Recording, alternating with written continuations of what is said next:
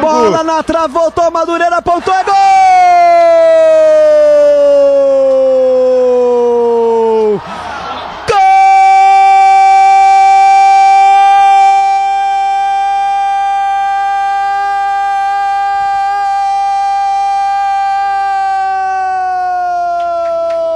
Gol!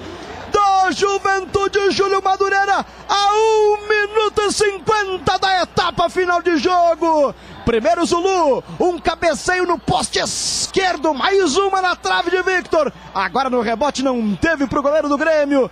Júlio Madureira domina a bola na marca do pênalti, escolhe o canto direito e mete de forma inapelável para a explosão da papada. O Juventude volta para o jogo. Será que estará construindo a história de uma grande virada contra o Grêmio? Bem, se estiver, essa é a primeira página da virada. É a primeira página da história. Júlio Madureiro, goleador do time, um artilheiro. Um para a Juventude, um também para o Grêmio.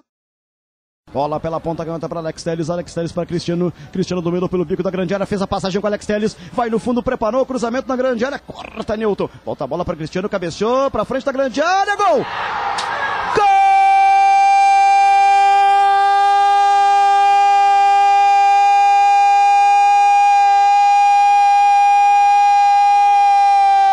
Gol do Juventude! É gol contra!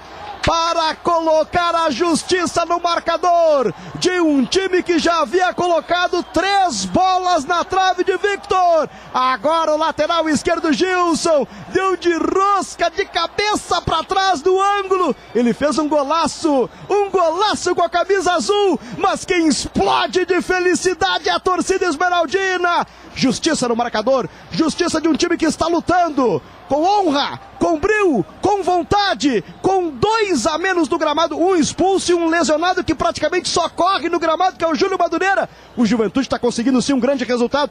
Obrigado, Gilson, diz o torcedor Alviverde. 2 a 2 o placar aqui no Jacone. Olha o Ramiro, roubou a bola, Ramiro, vai bater a gol, bateu! Golaço!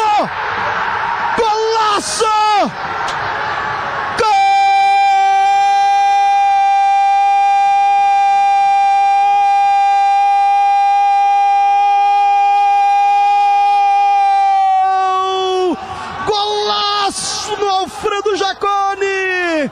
Eu falava, o Juventude precisava se reconciliar com uma noite histórica. O Juventude precisava encontrar um momento histórico marcante de novo. E ele está reencontrando. A papada parece não acreditar no que vê aqui no gramado do Jacone. Ramiro, formado no Jacone. Quem sabe o sangue alviverde dele formado aqui esteja devolvendo esse orgulho tão ausente na vida alviverde. Um golaço! Juventude com um a menos, com gente machucada, tá escrevendo uma das mais belas páginas da história recente do Alfredo Jacone.